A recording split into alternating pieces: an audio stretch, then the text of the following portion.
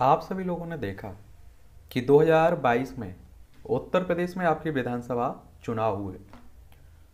और इसमें आपने देखा कि बीजेपी को बहुमत मिला, यानी कि भारतीय जनता पार्टी को बहुमत मिला।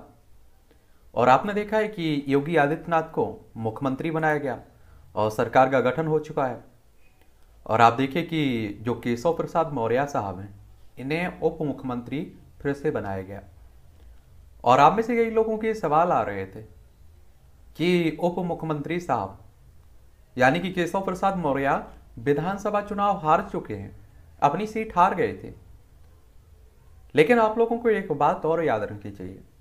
अगर अभी भी देखिए केशव प्रसाद मौर्य विधान परिषद के सदस्य हैं, याद रखिएगा। और अगर आप फिर भी अगर किसी भी सदन के सदस्य नहीं है, विधानसभा के भी नहीं, विधान परिषद के नहीं, फिर भी आप लोग छह महीने तक उप मुख्यमंत्री मंत्री या मुख्यमंत्री रह सकते हैं। आप लोगों ने पश्चिम बंगाल में देखा होगा, ममता बनर्जी चुनाव हार गई थी। या फिर आप लोग कहाँ चले जाइए महाराष्ट्र चले जाइए उद्धव ठाकरे? आप लोग देखेंगे कि उस समय, जिस समय वो मुख्यमंत्री बने थे, वो किसी भी सदन के सदस्य नहीं थे। या फिर आप लोग बिहार जाइए, नीतीश कुमार। वो विधान परिषद के ज़रिए चुनाव लड़के और मुख्यमंत्री बनते हैं हर बार। तो इनके आगे कोई प्रॉब्लम नहीं है। लेकिन हाँ एक बात आप लोगों को माननी पड़ेगी। जो आप लोग देखते थे कि 2017 का विधानसभा चुनाव हुआ था उसके बाद ऐसा माना जा रहा था कि केशव प्रसाद मौर्य को मुख्यमंत्री बनाया जाएगा। और उन्हीं के चेहरे पर एक तरह से चुनाव लड़ा जा रहा था। लेकिन इस बार आप सभी जानते हैं कि योगी आदित्यनाथ को पहले से ही मुख्यमंत्री डिक्लेयर कर दिया था बीजेपी ने। तो अब थोड़ी इनकी हा, हा, जो आप कह सकते हैं कि मुख्यमंत्री का जो सपना होगा उसमें ज़रूर झटका लगा होगा। ठीक है? और आप देखिए ये प्रधानमंत्री साहब हैं। योगी आदित्यनाथ साहब। ये आपको देखने को मिलेंगे केशव प्रसाद मौर्य। और केशव प्रसाद मौर्य याद रखिए बीजेपी में जो शीर्ष नेतृत्व है फिर चाहे प्रधानमंत्री मोदी साहब हो अमित शाह हो इनके काफ़ी खास नेता खास माने जाते हैं। और एक ओबीसी का बड़ा चेहरा भी है उत्तर प्रदेश में। तो आ, मुझे मुझे पहले से ही लगता था कि इन्हें कोई अच्छा पद दिया जाएगा उप मुख्यमंत्री भी बनाया जा सकता है। क्योंकि आप समझ सकते हैं कि ओबीसी के चेहरे को आप सोचिए कि इन्हें हटाना बड़ा मुश्किल होता बीजेपी के लिए, आगे आने वाले चुनावों के लिए। उत्तर प्रदेश आपको दिखाई दे रहा है। और आप देखिए इसकी राजधानी लखनऊ है। और आप सभी जानते हैं कि उत्तर प्रदेश राजनीति की दृष्टि से काफ़ी महत्वपूर्ण है। क्योंकि विधानसभा में 403 सीटें हैं, विधान परिषद में 100 सीटें हैं, राज्यसभा में इकतीस सीटें हैं, लोकसभा में 80 सीटें हैं। और आप देखिए ऐसा भी कहा जाता है कि जो दिल्ली की गद्दी है ना, इसका रास्ता लखनऊ से होकर जाता है। और अभी तक आप अधिकतर प्रधानमंत्रियों को देखेंगे तो वो उत्तर प्रदेश से ही आए हुए हैं निकल के। वर्तमान प्रधानमंत्री मोदी साहब को देख लीजिए। उनका संसदीय क्षेत्र बनारस है। बनारस से चुनकर आते हैं। ठीक है?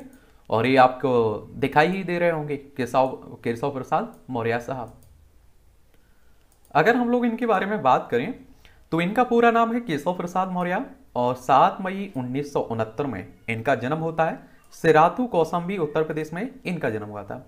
ओबीसी से पिछड़ा वर्ग से संबंध रखते हैं। और इनके पिता का नाम श्यामलाल मौर्य और माता का नाम धनपति देवी मौर्य। राजकुमारी देवी मौर्य, इनकी माता का नाम सॉरी ये धनपति देवी मौर्य, इनकी माता का नाम और पत्नी का नाम राजकुमारी देवी मौर्य। इनकी, इनके दो बेटे हैं, योगेश कुमार और आशीष कुमार, इनके बेटे हैं।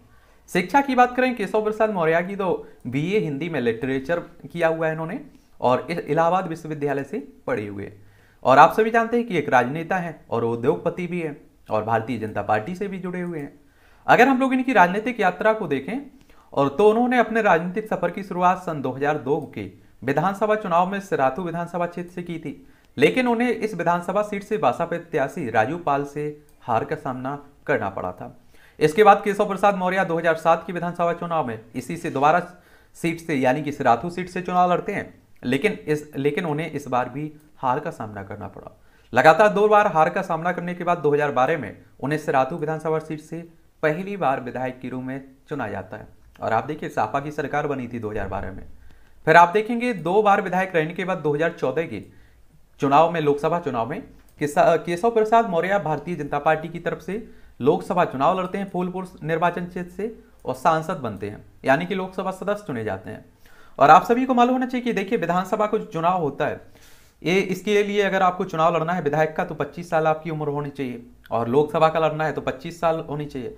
और इन दोनों सदस्यों के लिए आप देखिए कि आपकी उम्र 18 साल हो गई होगी तो आप लोगों का वोटर सूची में नाम भी जुड़ गया होगा और आप लोग वोट डालने जाते होंगे।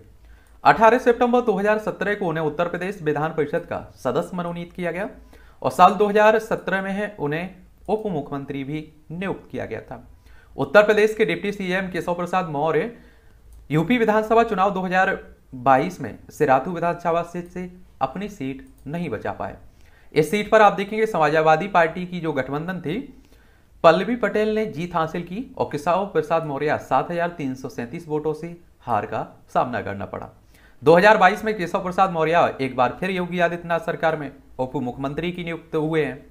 और ऐसे में तय है कि उन्हें आगे चलकर उत्तर प्रदेश विधान परिषद का सदस्य नियुक्त किया जाएगा और वो आराम से हो जाएगा, ज़्यादा प्रॉब्लम नहीं रहेगी। ये तो केशव प्रसाद मौर्य की राजनीतिक यात्रा हो गई। इनसे विवाद भी कुछ जुड़े रहे। 2014 के लोकसभा चुनाव के दौरान चुनाव आयोग को दिए हलफ नामे से साफ़ हुआ कि उन पर 10 गंभीर आरोपों के मामले दर्ज हैं, जिसमें 302 हत्या का केस, धारा एक सौ तिरपन दंगा को बढ़ावा देने का केस और धारा 420 धोखाधड़ी का केस जैसे आरोप भी उन पर लगे हैं। 2011 में मोहम्मद गौस हत्याकांड में उनका नाम शामिल है और जिसके चलते उन्हें जेल भी जाना पड़ा था। हालाँकि इस केस में वह बरी हो चुके हैं अब।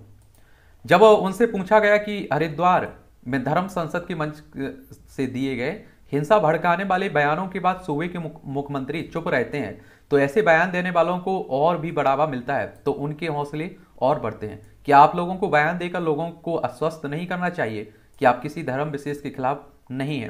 केशव प्रसाद मौर्य इसके जवाब में कहा कि भाजपा को प्रमाण पत्र देने की आवश्यकता नहीं है। हम सबका साथ, सबका विकास करने में विश्वास करते हैं। धर्माचारों को अपनी बात, अपने मंच से कहने का अधिकार है। आप हिंदू धर्माचारों की ही बात क्यों करते हो? बाकी धर्माचारों के बारे में क्या क्या बयान दिए गए? और उनकी बात क्यों नहीं होती है? बातचीत के दौरान केशव प्रसाद मौर्य नाराज़ हो गए और माइक निकाल कर फेंक दिए थे। तो इस पर, इस बार भी आप देखिए, काफ़ी इनका क्या रहा था? चर्चा में रहा था। ये बीबीसी इंटरव्यू विवाद रहा। बीबीसी को इन्होंने इंटरव्यू दिया हुआ था। तो यही कहानी रही है केशव प्रसाद मौर्य की। आगे किस तरह का इनका जीवन रहता है सफ़र रहता है वो तो आप लोग so, social media TV channels न्यूज़पेपरों से देखते रहेंगे। ठीक है? आगे के भविष्य के बारे में आप हम लोग कहाँ कुछ बता पाएँगे। तो चलिए आप लोग और किसी के बारे में जानना चाहते हो तो बताइए उसका नाम भी बता दीजिएगा। और आप लोग एंजॉय करते रहिए। हम लोग तो मिलते ही रहेंगे फ़िलहाल।